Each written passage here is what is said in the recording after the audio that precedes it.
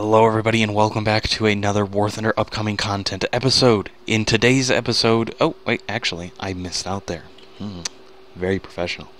War Thunder upcoming content is a series where I will show off upcoming content, well, that's coming to War Thunder within the next update or so.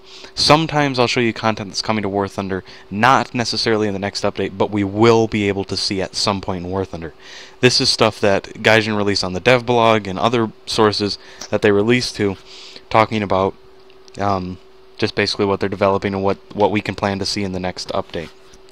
So, in today's episode, we can we are taking a in today's episode we are taking a look at a new cockpit that we can look forward to in War Thunder. This is the B7A2 cockpit.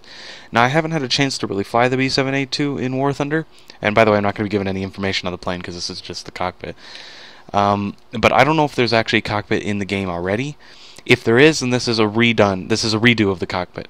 If there isn't a cockpit in the B7A2 in the game, then this is an entirely new cockpit that we can look forward to.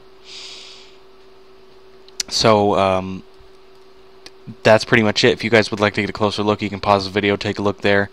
Um, but uh, that's really it. We can just look forward to a new cockpit, which is nice because each time Gaijin bring out a new cockpit, that's one step closer to getting our bomber cockpits. So guys, thanks for watching, and join me in the next upcoming content video.